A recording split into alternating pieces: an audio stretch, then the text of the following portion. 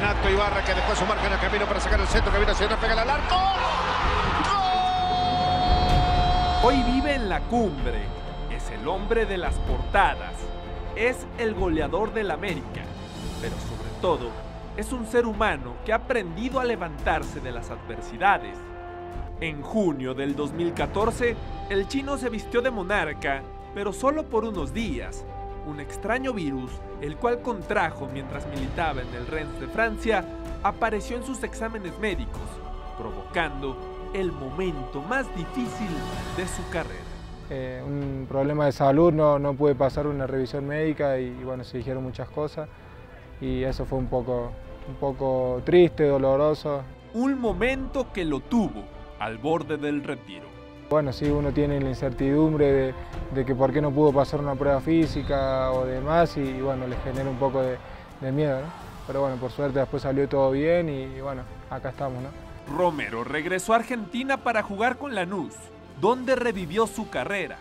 Regresé al torneo argentino y que bueno, ahí eh, por suerte me fue muy bien, terminé campeón goleador y después eh, vine a Jaguar. El destino le dio otra oportunidad en el fútbol mexicano. Su estancia en la selva chapaneca duró un año, donde sufrió la falta de pagos. Segundo semestre se vio más reflejado lo, los problemas económicos y obviamente que, que, que, hizo que los resultados deportivos no, no acompañaron. Además, su familia también se vio afectada ya que su bebé tuvo un nacimiento prematuro, lo cual provocó noches de preocupación en el delantero argentino. Todo su entorno le mostró su apoyo para salir adelante del momento complicado.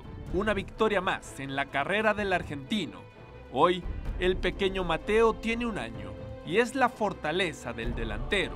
Silvio puso su nombre en lo más alto de la Liga MX y se convirtió en el refuerzo centenario de las Águilas. Es un club que, selecciona su refuerzo y bueno, demostrar y, y, y, responderle en el campo de juego con goles a, a, a Ricardo Pelada que me dio la confianza no la, y, y, no desaprovechar las oportunidades. ¿no?